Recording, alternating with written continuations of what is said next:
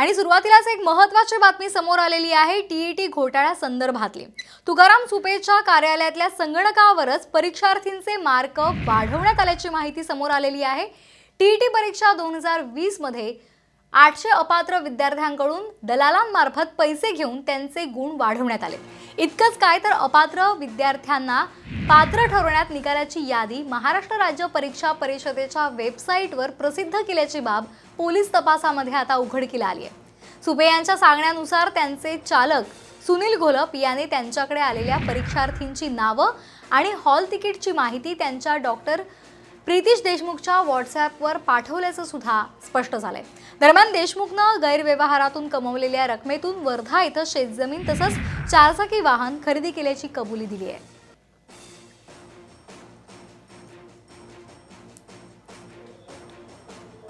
या संदर्भात अधिक माहिती देत आहेत आमचे प्रतिनिधी अमोल कविटकर.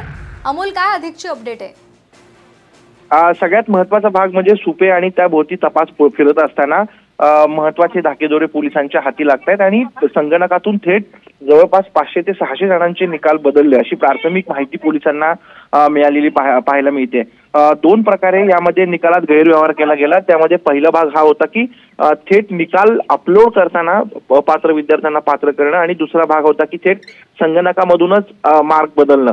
अशा दोन प्रकारे या परीक्षेमध्ये गैरव्यवहार केल्याचं निष्पन्न झालेलं आहे. त्यामुळे आणखीन किती लोक म्हणजे सुपेचं पूर्णपणे कार्यालय यामध्ये होतं का? याचा सुद्धा तपास आता पोलीस करताना पाहायला मिळतील आपल्याला माहिती की सुपेच्या चालकाला आधीच अटक करण्यात आलेली आहे आणि त्या दृष्टीने आता तपास पुढे जातोय. अगदी धन्यवाद आपण दिलेल्या या माहितीबद्दल.